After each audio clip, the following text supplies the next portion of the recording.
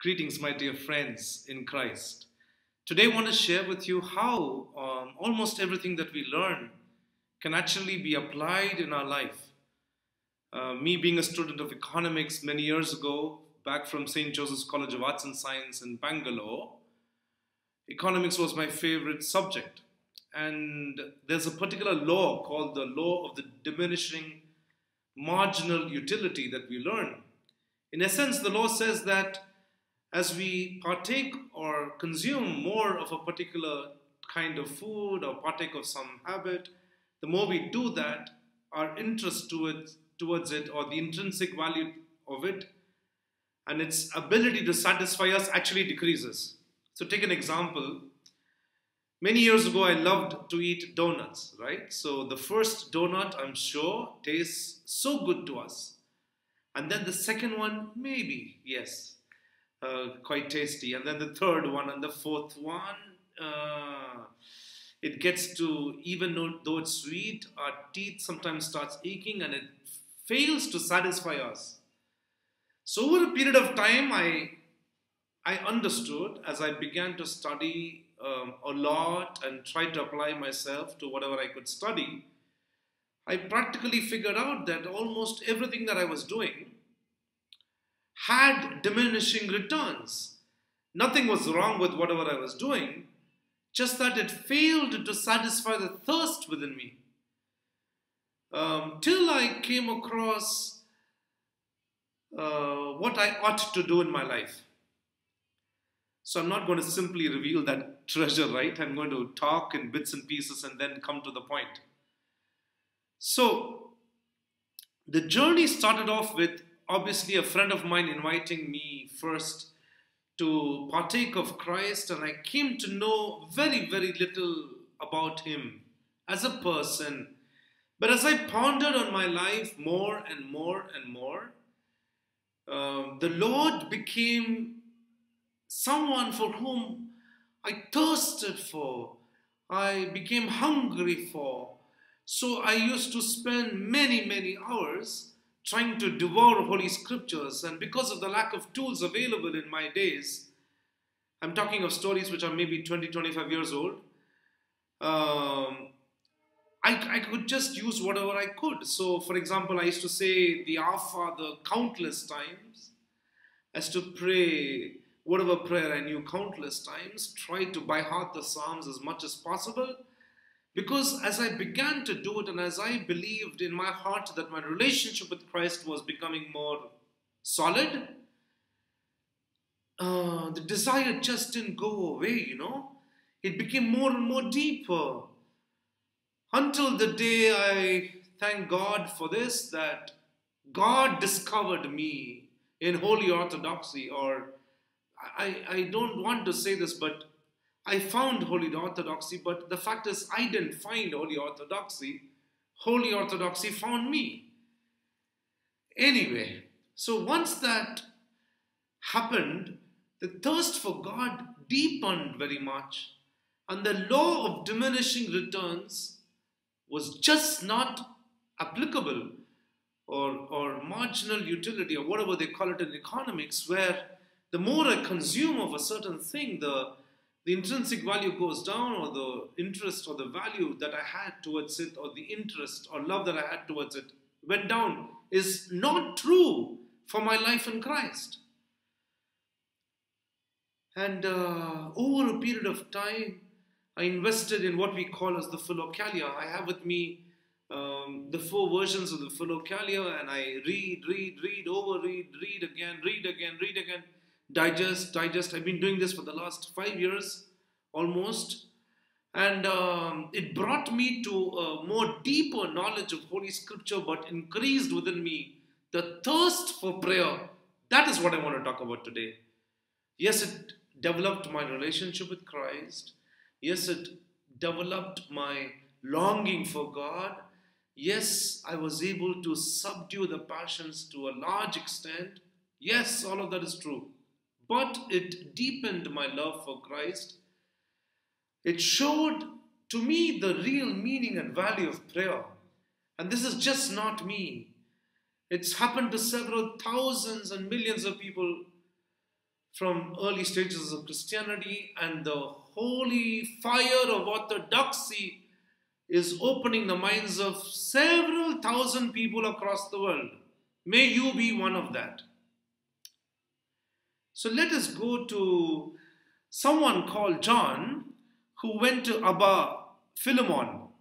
And this was his question. Let's understand this.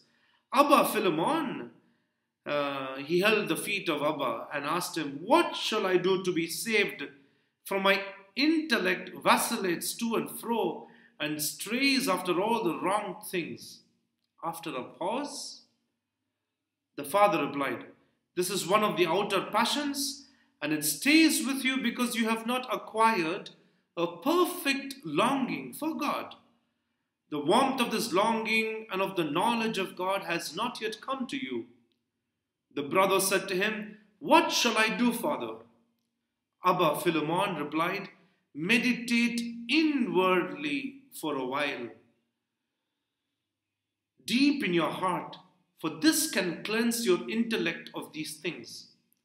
The brother, not with understanding, what was said, asked the elder, What is inward meditation, father?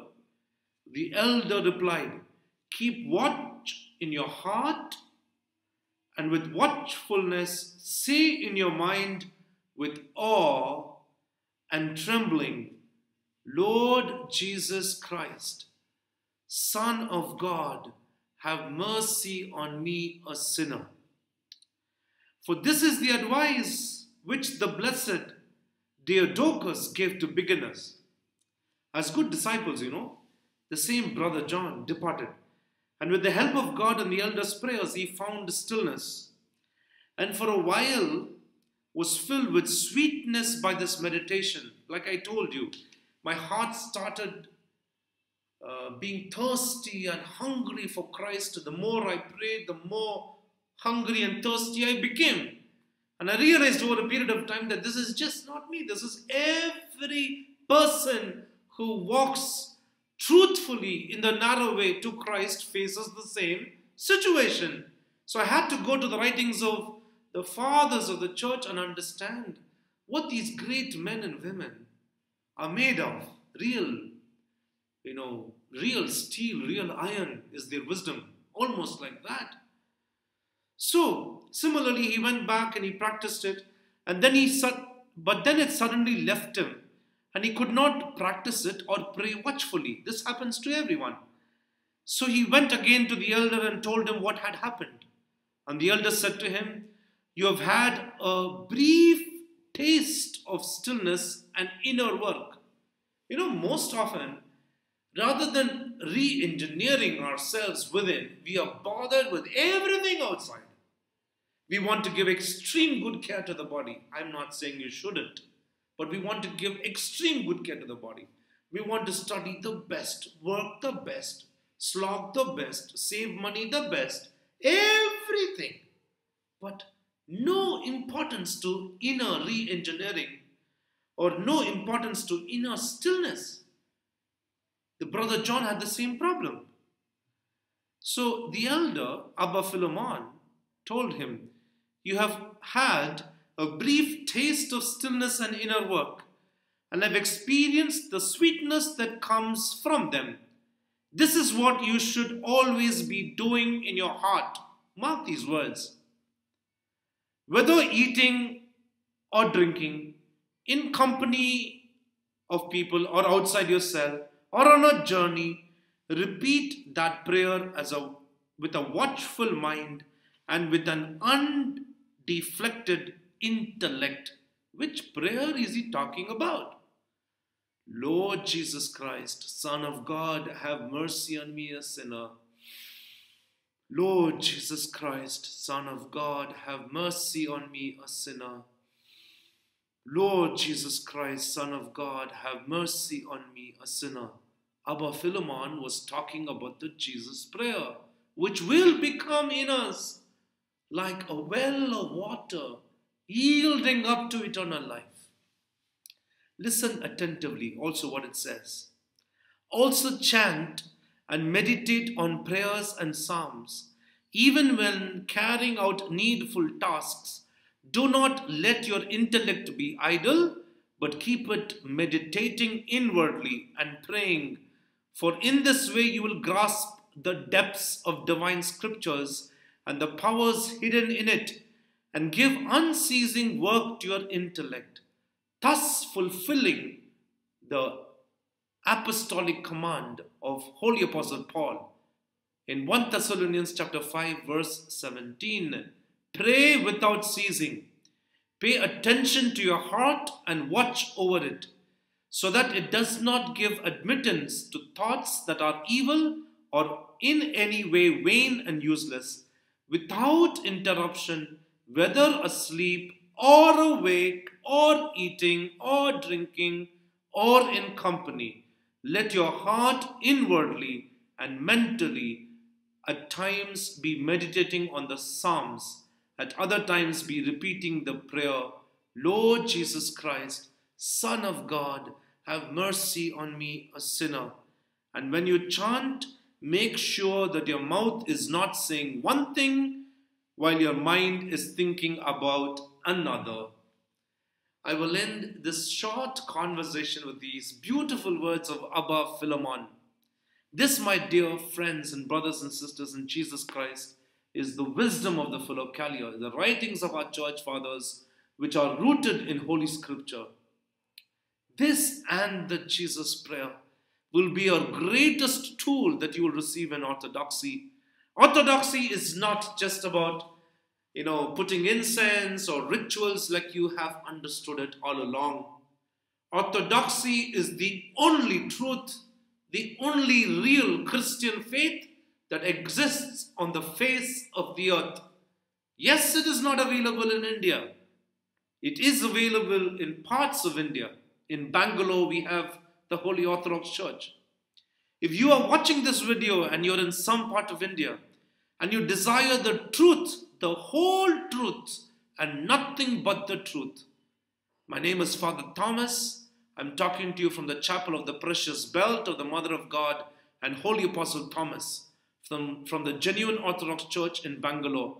Write to me, get in touch with me. I'm here, here to listen to the cares and concerns of every single person who genuinely wants to seek Christ. May the Almighty God bless you all as you reach out, remember to start holy orthodoxy in your city and village is not difficult. Just be humble. Christ will enter. In the name of the Father, and of the Son, and of the Holy Spirit. Amen.